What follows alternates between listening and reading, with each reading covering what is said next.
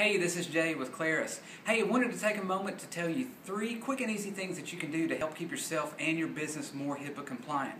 First, let's not send any patient data via email outside of your organization. This could be sending it to another business or to yourself at an external email address uh, that is unsecure and uh, could compromise their data. Two, be sure and always lock your computer when you step away from it, even if it's for a minute.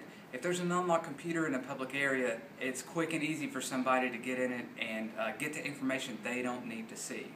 And finally, let's not have shared user accounts. I know it's common and easy to have the account nurse with the password password, but if everyone in the organization knows that account, then you're going to lose security, accountability, and it's going to be a big knock on your HIPAA compliance.